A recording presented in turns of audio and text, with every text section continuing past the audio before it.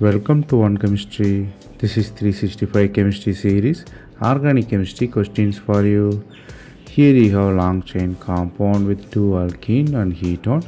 The ketone is in conjugated form.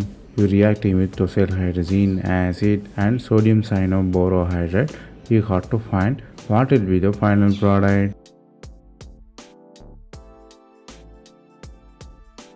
Here you are using the hydrazine and you have carbonyl in the system. Chances of Shapiro elimination. So carbon become hydrazine with good leaving group tosylate. So you have the formation of nitrogen which is a good leaving group. So nitrogen leaves, you have alkene formation with anion. The anion has to be quenched. Anion quenched by acidic hydrogen of acid. You have final product. Here the sodium cyanoborohydride is chemoselective reagent. It reduces the hydrazine into the imine there. The concept you have to learn here is Shapiro elimination. Shapiro elimination converts carbonyl into alkenyl anion.